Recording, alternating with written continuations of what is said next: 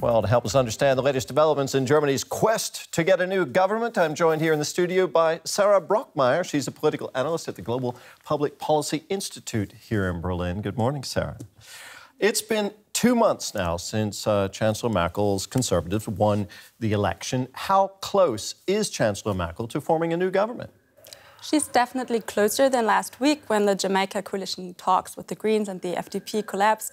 Now it looks increasingly likely that the Social Democrats, who've been saying they definitely do not want to join another grand coalition, are indeed considering negotiations with her quite a turnaround by the Social Democrats, it must be said. You know, first its leader comes out and says, no way would we enter another coalition with Chancellor Merkel. Now, you know, maybe well, people seem to be thinking about it. Uh, the German president is going to be hosting talks with uh, various parties who could form a coalition later this week. Uh, he'll be holding those talks on Thursday. What can we expect?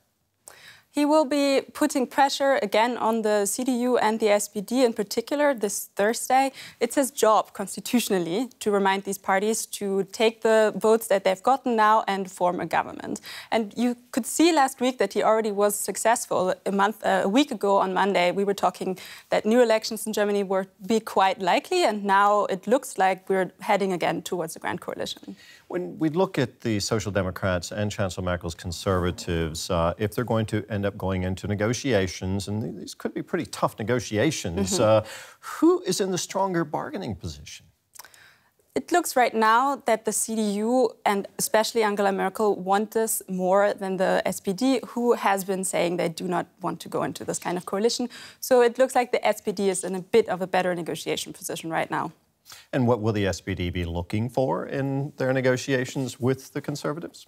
They'll have to show to their base, to their voters, that there's this clear social democratic signature on this next, next government, now that they have kind of flip flop on this position. Mm. So they'll be looking for, they already put out demands on a health insurance reform, pension reform, higher pensions, a higher minimum wage taxes, basically, or higher taxes on wealthy people, and for that, more investments into education and housing.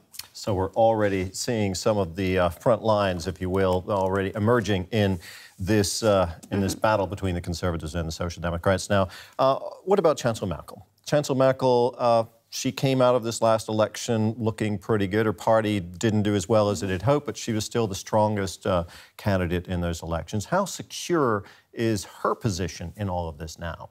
Now, there have been some calls the, from the Social Democrats that that would be easier to enter a grand coalition if she left. However, she looks very secure right now. The CDU ha does not have an incentive to replace her. First, they don't actually have a successor for her in place that or in, in waiting, basically. And secondly, Germans really like Angela Merkel. 58% of Germans want her to continue as chancellor.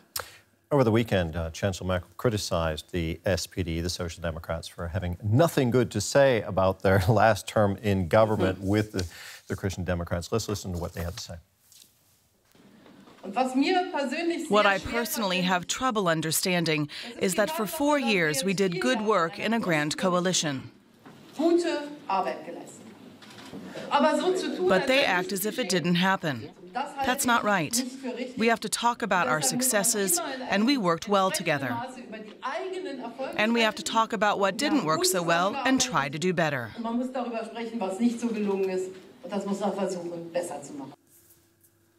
So Chancellor Merkel there commenting on uh, the SPD, what they've been saying about their time mm -hmm. in coalition. Maybe it wasn't all that bad from her perspective, I guess. Uh, she mm -hmm. won the election after that.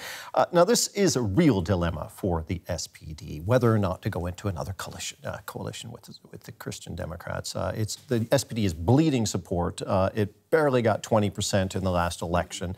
Um, it wants time out to reinvent itself. How is it going to do that in another grand coalition? It looks very unlikely that it can actually reinvent itself in another grand coalition. That's why they really did not want to do this. But they're in a dilemma right now also because the new elections wouldn't necessarily leave them in a better position. There are a lot of SPD MPs right now, members of parliament, that kind of want to avoid new elections because they are afraid that the results for the SPD will be even worse. So probably the SPD is going to lose votes either way. Now, there's a lot of finger pointing right now at the Free Democrats mm -hmm. who walked out of the coalition negotiations between Chancellor Merkel's Conservatives and the Liberals and the, the Greens. Um, What about the Free Democrats? They're, they're, they got elect, reelected to Parliament after being out for a session, and then they walk away from a chance to govern. How much blame is being put on that party? The other parties are putting a lot of blame on them, but you can see in the polls that they are not about are not likely to lose votes from this. A lot of people, especially in their base, like the principled stance that their party leader, Christian Lindner, has taken. So they might actually win from this. They wanted to be in opposition, and they're most likely going to be in the opposition now. Final question, just a quick answer. Uh, do you think we'll get a coalition government in place by Christmas? It looks highly unlikely.